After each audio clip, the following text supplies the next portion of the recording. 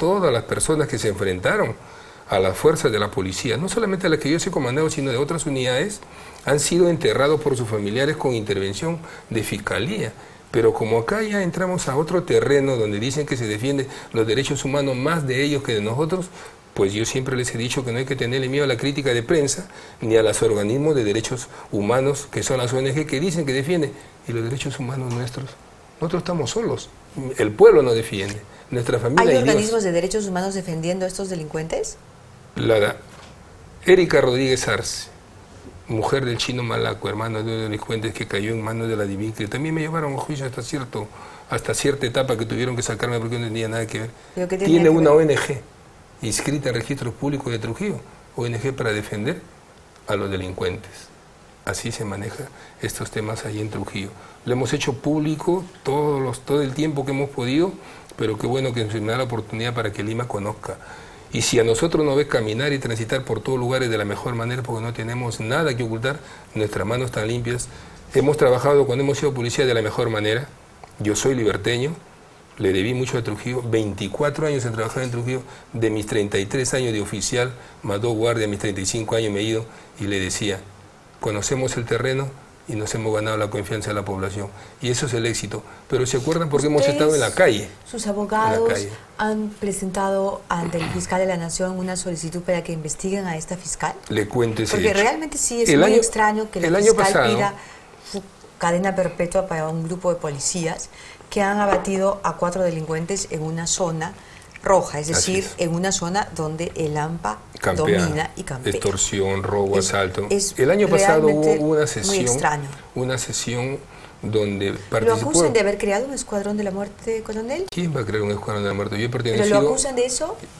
Esto, esto, ha dado lugar para que existan titulares y digan que eso existió. Yo he pertenecido formalmente a la Fiscalía lo acusa? No, no, no, eso no, eso solamente son no, los titulares quedan a la hora de la, investigación judicial. No hay de eso porque ellos han reconocido en juicio de que este es un operativo dispuesto por el comando y perteneciendo a una organización jerarquizada, donde en esa época yo era comandante, habían coroneles, había general, llegaba, en este caso a los 48 llegó un equipo de la Inspectoría General de la Policía, ¿Qué nos dijo el teniente general? Están locos para trabajar así. Pero esa era la misión que cumplir allá. Nuestro trabajo era así. Pero ¿a dónde voy? Acá nadie puede crear un escuadrón de la muerte ni hacerse justicia por las propias manos. Por el contrario, acá hay un éxito con la población, que es lo que se está buscando ahora. Nosotros nos hemos ganado el apoyo de la población por nuestra presencia y nuestro trabajo en las calles. Yo ya estoy en retiro como algunos... Todos los policías, coronel, discúlpeme, yo entiendo lo que usted quiere decir y, todos lo apreciamos. La verdad es que la mayoría de los ciudadanos apreciamos a los policías que nos defienden. Nos defienden con valor, que no corren, sino que nos defienden. Pero apreciamos muchísimo a los oficiales que cuando son investigados dan la cara, porque hemos visto a lo largo de muchos años oficiales de la policía o de las Fuerzas Armadas que cuando han sido investigados han huido. Y esa es una primera actitud que llama a sospecha. Usted ha estado dando la cara todo el tiempo, yo lo he seguido a través de la prensa trujillana y por eso hoy lo invité. Eso lo apreciamos. Pero ¿Hasta dónde es vulnerable un policía en este momento en el Perú? Ustedes usan sus armas y no existe, digamos, la protección de su institución cuando usan sus armas en defensa de la ciudadanía, en defensa de la propiedad, en defensa propia. No, no los protege la institución policial. Debería protegernos. Y no los protege, la ley no los protege. Pero la ley nos protege porque la ley está textualmente que somos inimputables. El artículo 20, inciso 11 del Código Penal es claro, dice, el integrante de la Fuerza Armada de Policía Nacional que en cumplimiento del deber, como en este caso, haga uso de sus armas de fuego causando lesiones o muerte, es inimputable. Estamos hablando de inimputabilidad, ni siquiera iniciarse un proceso. Pero cuando los titulares, como eso que usted ha visto y otros más, mueven al comando, se retiran y aparecen por ahí los defensores, hay que dejarlo solo. A nosotros nos han dejado solo toda la vida.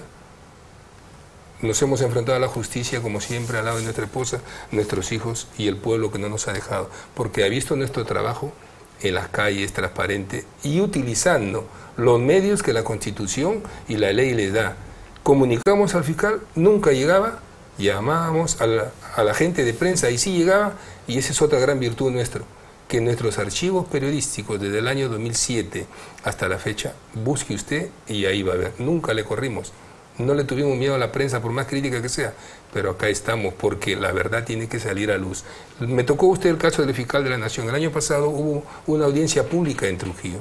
Yo fui como un ciudadano, hice mi cola y pedí, y había denunciado. Estos hechos lo he presentado. Y cuando hago mi alocución de cinco minutos que no es del fiscal de la Nación, me identifico y le digo que ojalá que esto lo lleve a Lima a investigar. Porque si lo investiga la oficina de control que tienen los fiscales en Trujillo, o Torongo no come Torongo. Espere la respuesta estoy sentado esperando hasta el momento. Le cuento como anécdota, llegó la OMA el anteaño pasado. Este caso viene del 2007.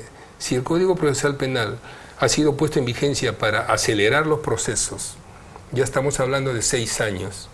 Lo único que pedíamos era celeridad. Llegó personal de la OMA, le damos la respuesta, sigo sentado esperando la respuesta. Si así a quienes hemos vestido uniforme y los que visten se le trata así, ¿qué menos será el ciudadano común y corriente que espera una justicia? Más aún, estos hechos han resentido a la ciudad. ¿Usted cree que algún policía, no solamente por mi caso, hay muchísimos casos más pendientes de otros policías, mm. y usted cree que esa, ese personal que está sujeto a estos procesos, su familia que le dice, no, nada, igual ganas. Y la seguridad ciudadana se va a seguir resintiendo en tanto nos sigan tratando, como he dicho, ya no por el lío Espinosa y los nueve policías, nunca más, como le dije al fiscal de la Nación, que esto ocurra, por el resto de ciudadanos, porque hay que tener el suficiente coraje y el apoyo espiritual, material de la familia y de Dios y del pueblo para estar presente. Y como siempre lo he dicho, no tengo por qué correrme, no tengo vergüenza, mis manos están limpias, lo que he hecho es cumplir con mi deber. Si mi deber me ha traído estos problemas... si le vamos a pedir a la pues policía que no dispare, entonces ya mejor de una vez entreguémonos a la delincuencia. Claro. ¿No es cierto? Es decir, la democracia no debe ser boba, las instituciones tampoco pueden ser bobas y la autoridad tiene que existir. Tiene porque que lo que no hay en ese momento en nuestro país es autoridad. Y Cuando el gobierno permite que a la policía, que es la autoridad que tiene el contacto inmediato con la ciudadanía, se la trate como se la trata. Entonces, el mensaje lo estamos sufriendo, ¿ah? no solo leyendo, sufriendo los ciudadanos, en medio de la terrible inseguridad en la que nos encontramos. Ojalá que esto se mejore. Antes de terminar, permítame, como un recuerdo y como un testimonio, yo he escrito un libro. ¿Sobre su caso? Trujillo la medianoche. Sobre el caso que se trabajó en Trujillo el caso está presente, le denominaron Escuadrón de la Muerte. El prólogo lo ha hecho un rector de la universidad, el doctor Cifrido Vegoso Venegas, que es conocido en el mundo de las letras, del derecho. ¿no? Le voy a dejar como un testimonio, como le he dicho, al soporte que la esposa y los hijos nuestros de los policías vienen soportando por estos vejámenes, al pueblo que siempre confía en nosotros, a todos esos policías que pusieron el pecho para darle un poco de seguridad a la ciudad y a la ciudad de Trujillo, que aún no sale de esos titulares que le dejaron mal parado, digamos, y que ojalá algún día recuperemos. Trujillo a la medianoche, pudo haberse Lima a la medianoche, Pueblo Libre a la medianoche, Jesús, Jesús María a la medianoche, en fin. El testimonio, el recuerdo, no hay nada que ocultar. Ahí va a encontrar usted una experiencia de Trujillo. Le agradezco muchísimo. Muchas gracias. gracias. Usted ha escuchado este testimonio. Y así hay muchos testimonios que recoger. El coronel ha tenido la valentía, la fuerza y el apoyo de mucha gente para defenderse, pero hay muchísimas autoridades que son juzgadas de esta manera y no pueden defenderse.